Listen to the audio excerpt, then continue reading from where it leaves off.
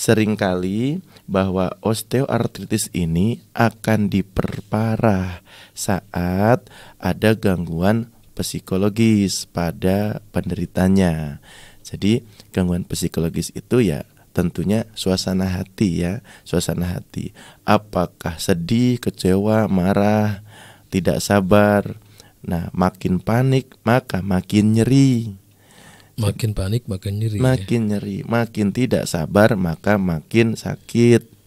Iya.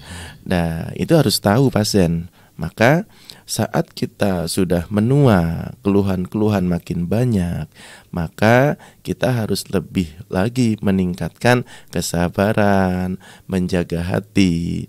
Jangan sampai kita terganggu oleh hal-hal yang sebetulnya kita bisa cegah kan? Hati itu kan bisa kita cegah. Mau negatif mau positif kita bisa upayakan. Yeah. contoh sering kali kami ke pasien beredukasi bahwa Pak tolong apa pun yang kiranya bisa mendatangkan rasa jengkel marah kesel hindari Hindari ya. Hindari.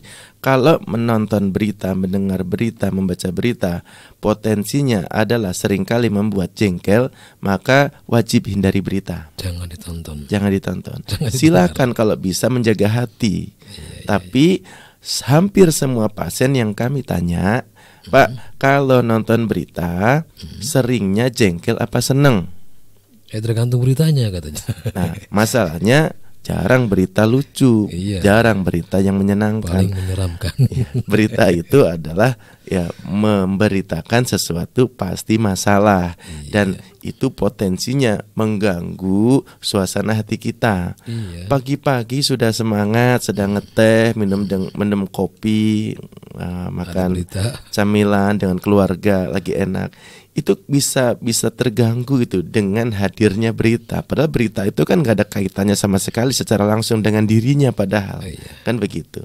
Uh, lihat berita koruptor, nah kemudian ya terganggu hatinya kan begitu. Ikut jengkel gitu. Ikut jengkel. Padahal sudah ada yang ngurus kan. jadi jadi pintar-pintar menjaga hati kita, menutup kalau eh, kata guru kita Buya Yahya bahwa hati ini pintu pintu masuknya kan eh, telinga dan mata. Yeah. Nah, jadi kalau misalkan kita ada masuk sesuatu dari telinga kemudian akan merusak hati, tutup telinganya.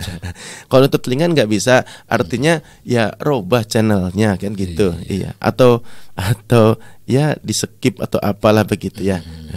Atau kalau mungkin kalau cuekin misalkan aja dicuekin. Oh, boleh cuekin ya. Bener yakin bisa nyuekin. Kalau kita nggak menghindari, kalau kita nggak ngubah channelnya nggak bisa Bang Yos, tetap aja. Saya kan nyetel yang lain. ya, betul. Jadi jadi alihkan. Jadi alihkan. Ya, ya alihkan.